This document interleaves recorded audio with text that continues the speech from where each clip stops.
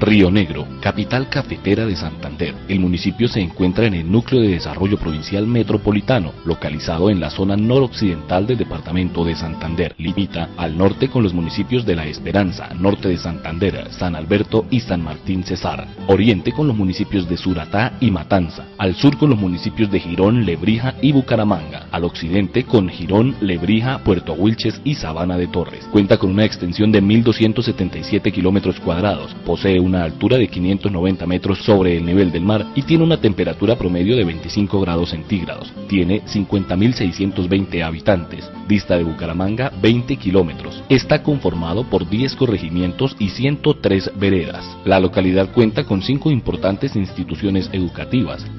En el sector de la salud, cuentan con la empresa social del Estado de San Antonio en el casco urbano central. El río era totalmente transparente donde se podía apreciar su profundidad, incluyendo su variedad de peces y el color de sus algas. Dicen los antecedentes históricos que el Valle de Cañaverales de Santa Bárbara, hoy municipio de Río Negro, fue descubierto por Antonio Lebrija. Fue Ambrosio de Alfinger, al mandato de una comisión española, quien por primera vez hallara con pies civilizados estas comarcas rionegranas cubiertas de tupida y espesa selva al servicio de peligrosas fieras y de terribles habitantes. José Domingo Duquesne anunció el 17 de febrero de 1805 la fundación de esta parroquia, con el nombre de Santa Bárbara de Río Negro. Esta fecha se considera el día de la fundación de la localidad, la cual fue promovida por los señores José y Facundo Mutis, José Gutiérrez Calderón, Enrique Puyana, Juan Andrés Ortiz, entre otros de 4.014 habitantes desde 1851, saltó a 17.600 en 1896, convirtiéndose en el segundo municipio con población de Santander.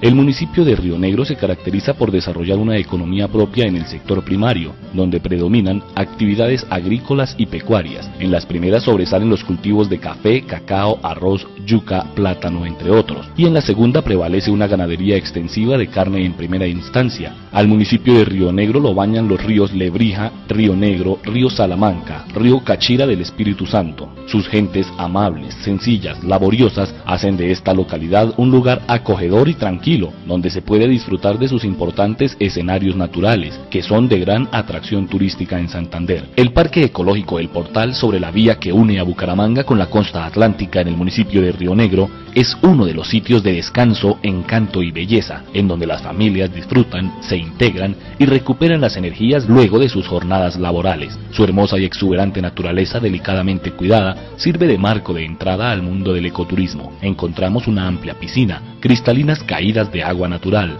un majestuoso bar-restaurante, en una casa que nos transporta a la época de nuestros antepasados, un lago para aquellas personas aficionadas a la pesca, un hermoso trapiche y cómodas cabañas para descansar y olvidarnos por completo de la vida y el bullicio de las grandes ciudades. Además encontramos zona de camping y diferentes escenarios deportivos apropiados para la sana diversión. Parque Ecológico El Portal. Solo tiene que visitarlo para compartir y vivir con la naturaleza. El municipio de Río Negro es epicentro turístico por su cercanía con la capital, rico en fauna y flora y cuenta con fuentes de aguas, ríos y quebradas que son propicios para la recreación el ecoturismo, el deporte de aventura y la preparación de un típico sancocho familiar. Además cuenta con un clima agradable, hermosas mujeres, magnífica hospitalidad de sus gentes residentes en la cabecera municipal. Allí también encontramos el malecón de Puerto Amor, el León de América, impresionante volcán que se alza majestuoso en el corregimiento de Galápagos, cascadas Los Tres Enanos, lagunas y pozos que con sus aguas puras atraen la atención de millares de turistas a principios del mes de enero para dar paso al ya tradicional Festival del Río y la Tanga.